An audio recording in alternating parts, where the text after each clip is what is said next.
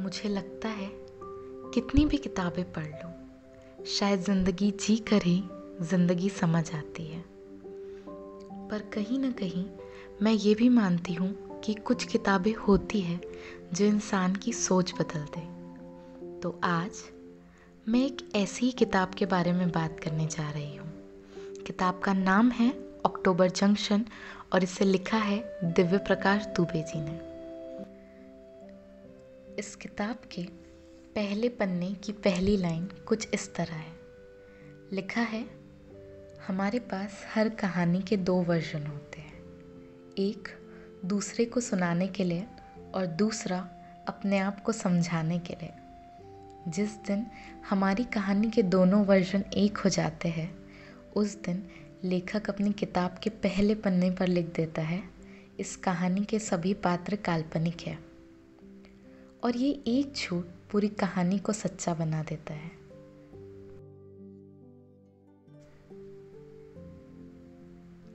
फिर आगे किसी पेज पर लिखा है, हम जिस कहानी का हिस्सा है, उसे शायद कोई लेखक कभी मिले ही ना।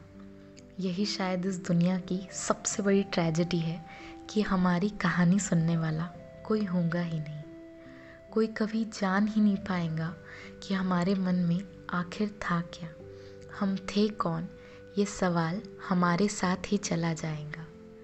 कुछ लोग बोल देंगे कि बड़े अच्छे आदमी थे या बड़ी अच्छी औरत थी। बस।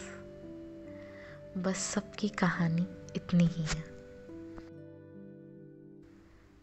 जैसे किसी गाने की, किसी लाइन से हमें प्यार होता है उतना ही प्यार मुझे इस कहानी के इस हिस्से से है। तो ना चाहते हुए भी मैं कहना चाहूँगी कि प्लीज़ यार, ये लाइंस ध्यान से सुनना।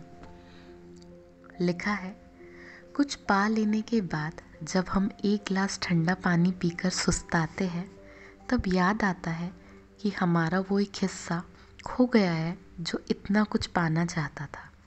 चलते फिरते हम रोज़ कितना कुछ खोते जा रहे हैं। कि याद ही नहीं आता कि कब बैठकर हमने आसमान में तारे गिने थे। कब आखिरी बार अपने हाथ की उंगलियों को दूसरे हाथ की उंगलियों से छुआ था। कब बिना बात के ऐसे ही अपने मोबाइल पर किसी बिसरे हुए दोस्त को बिना किसी काम के कॉल किया था। दोस्त, जो अब थोड़ा सा अजनबी हो चुका है। कब डूबते सूरज के साथ दस रुपए की मूंगफलियाँ खाई थी। कब रात भर बातें की थी कुछ पा लेने की राह पर रोज़ भागते हुए भूल ही जाते हैं कि अपने खोए हुए हिस्से को बचा लेना ही असली पाना है